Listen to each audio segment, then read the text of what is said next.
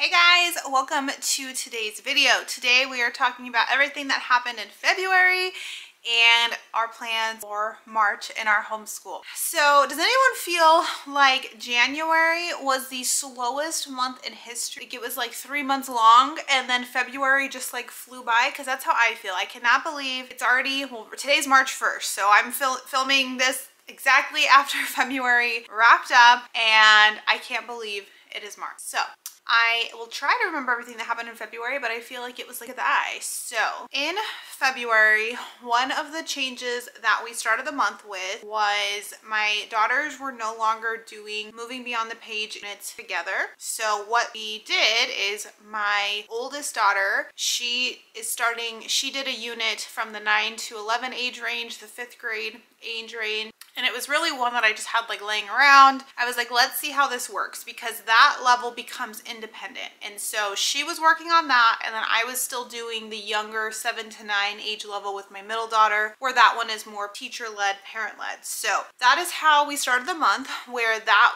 got split. And the first couple lessons were a little rough um, just because of things we like weren't really uh, you know aware would be issues because we're so used to like sitting together doing those. Well you know I'm trying to do the lesson with my middle daughter but my older daughter sitting there and she's like can you guys stop talking? Like I'm trying to read which you know so like we really had to kind of like adjust for that um you know us you know not being annoying or loud when someone is trying to read and concentrate so we definitely had to make some adjustments there. At that same time, we also um, kind of redid our homeschool room a little bit. We are running out of room. So we have like a small black table that we all kind of sit at, but it's small um, the chairs we have are small and so as my kids get bigger we're just running out of room. They don't have enough room to spread out their books and stuff and so we kind of rearranged it and we moved my oldest daughter's desk out. And so now she can sit by herself at the desk but she's like still with us in the homeschool room so it's not ideal but it's what we're doing for the time being. And so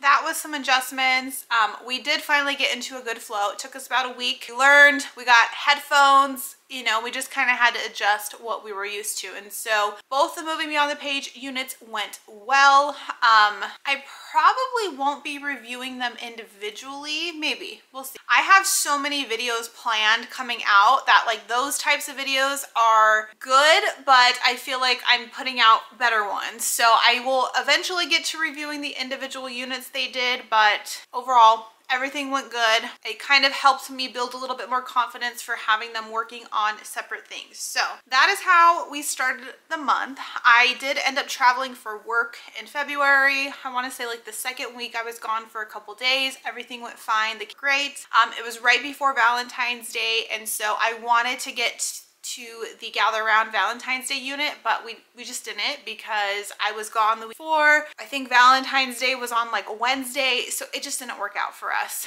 Um, my kids, unfortunately, were sick at the end of the month, and so that kind of took a couple days away from us um, in February. And so nothing hugely crazy happened in February. Um, I did film all last week. So today's Friday when I'm filming this. I filmed a Monday through Thursday of vlog. So you guys will see that. So you'll kind of see us doing what we've been doing through February. You'll kind of see like the last week of February.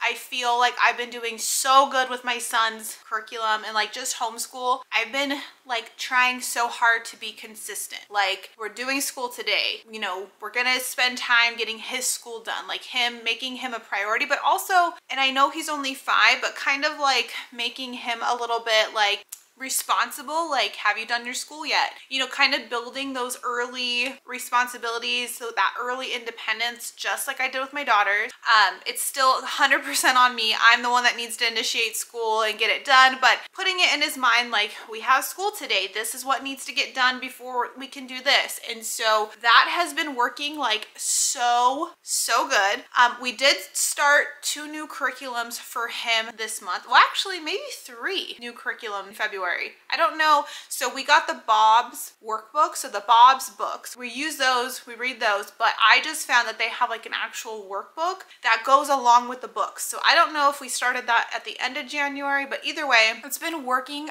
freaking amazingly. So he does two pages in that, which they correlate with whatever book he's learning to read. And so then we'll read his book.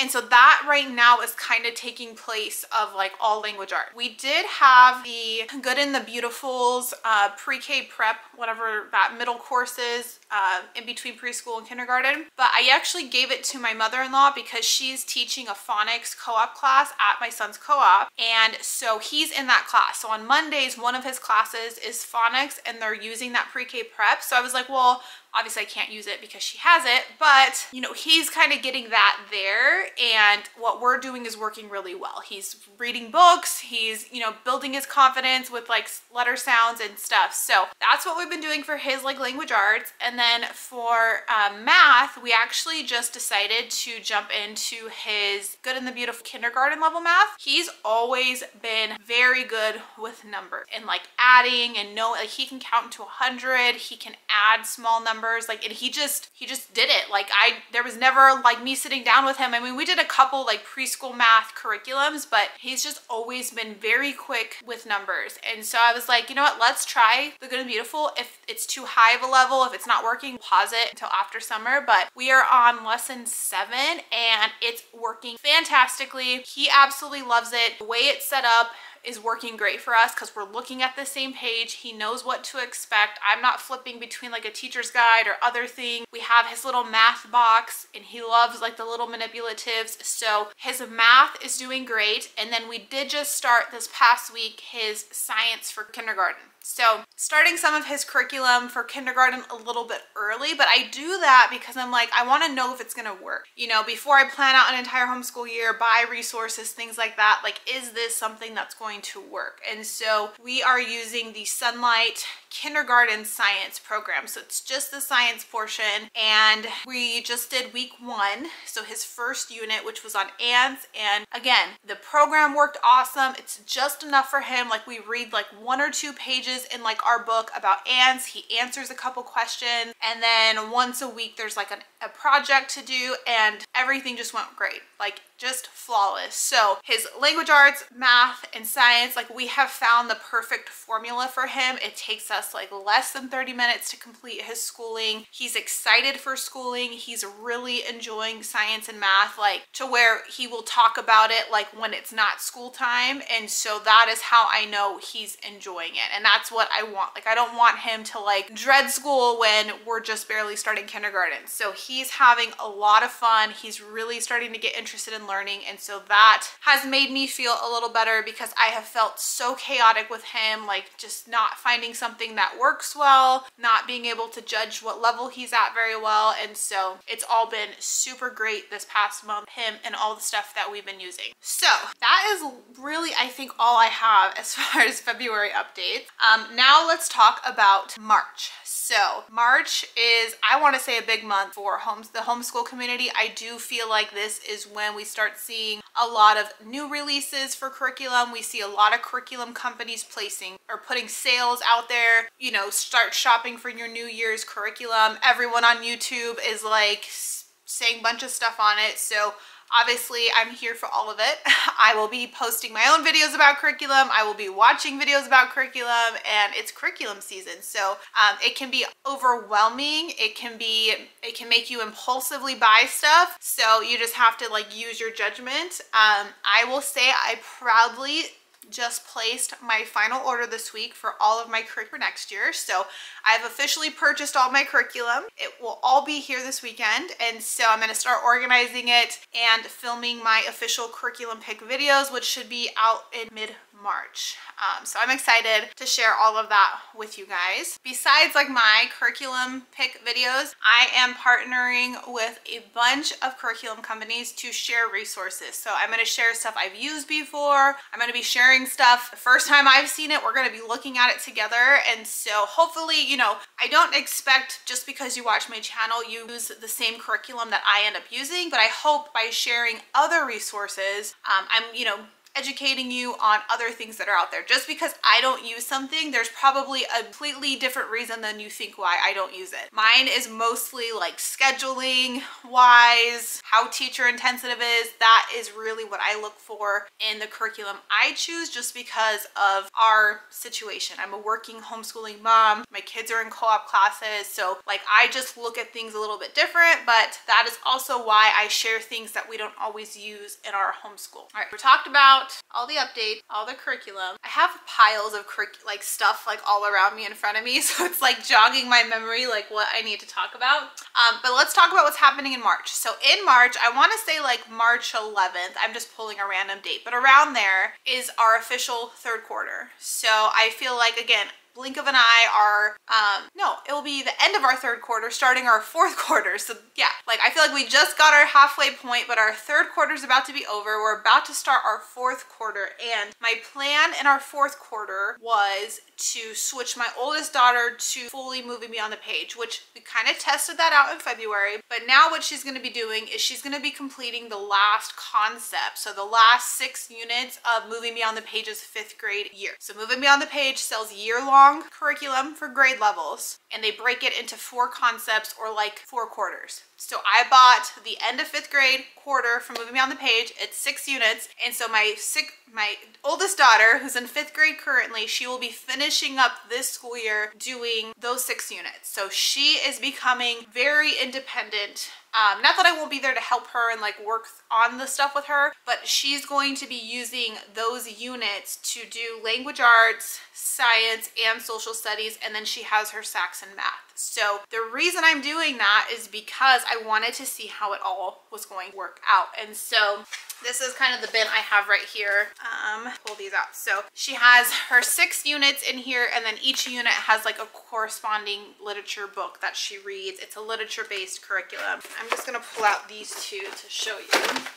So her very first units that she's going to be doing her language arts unit, she's going to be reading A Wrinkle in Time um, for, for language arts. And then at the same time, she'll be working on her science, social studies, space unit, reading this. So those are her first two units. So she works on a language arts unit and then the corresponding uh, science or social studies unit. And then, so we are working down here. This is the fourth quarter.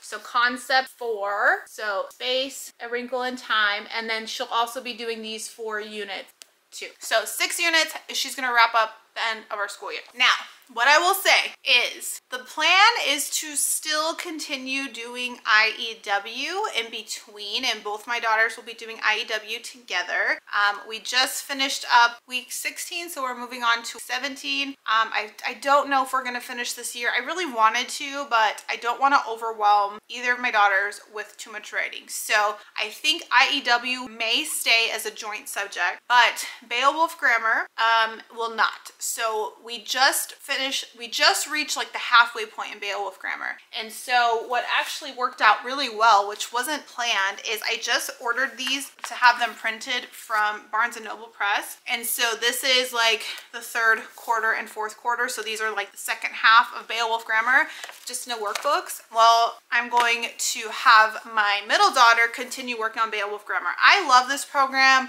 I think it's awesome. I just don't want my oldest daughter doing too much. Her moving beyond the page units are very thorough. They're very detailed, especially at these higher levels. She has lots of language arts, grammar, writing, vocabulary activities she needs to complete. So she will be stopping Beowulf Grammar, but my middle daughter will continue on, hopefully finishing it this year. Um, so that is a pretty big change that we'll be making in March. Um, again, just kind of like the separation of certain things. So also, um, we have a couple, like we have two lessons left in Apologia. Um, I think we're just on, we're on lesson 12 now and it goes to lesson 14. So we are gonna wrap that up together as a family. Even though my sixth grader is doing science on her own, it, Apologia shouldn't take us too long to kind of just wrap up and complete. And then I need to decide what I'm doing with my middle daughter for science. Um, so we also have Gather Round US History that we are on lesson 13 and there's 20 lessons. So we have um, seven lessons left to complete, I believe. And again, I'm kind of like, you know, I don't want to put too much on my oldest daughter, but I also kind of want to wrap up some of these things that she started together. So that is what I'm going to be working on in the month, month of March because once we get to April, a lot of that stuff will be ended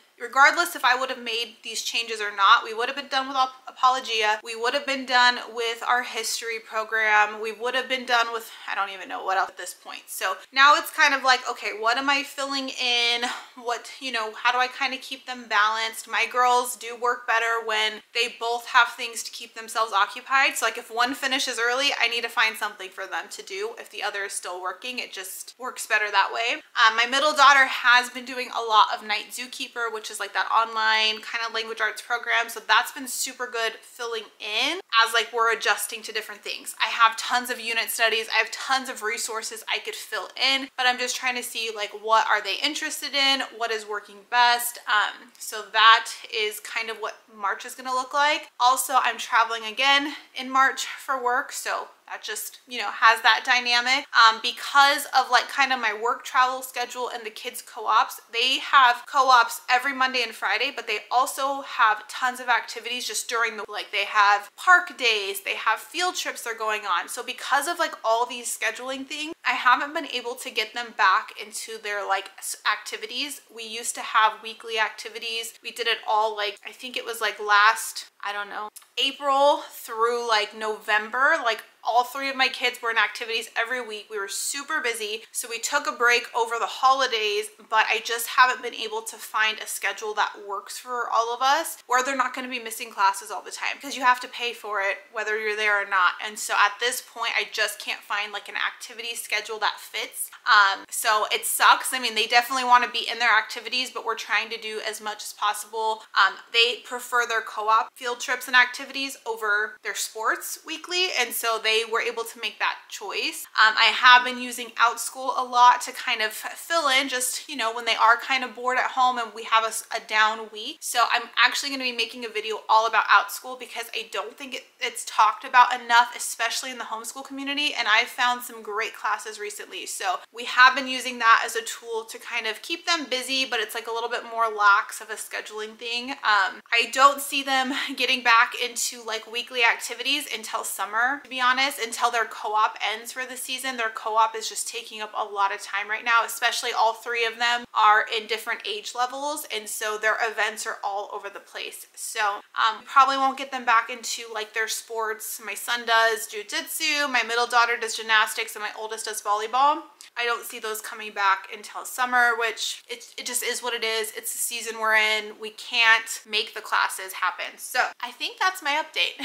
I don't know. I'll stop filming and then I'll be like, oh my gosh, I forgot to tell you guys all these things. But either way, I have so many videos coming out, like to the point to where I don't even know like when to like upload them for like release date because there's so many that it's like, I think this video is more important than this video. And so I'm trying to keep it at like three videos a week. I don't want to overwhelm or be like way too much, but they are like time sensitive. I mean, I want to get a lot of stuff out before you guys start curriculum shopping. So if you're like, whoa, Ashlee, chill out with the videos, it will slow down later on. So thanks so much for watching. I hope you guys enjoyed this video. If you have any questions, leave them down below. Have a great day, guys. Bye.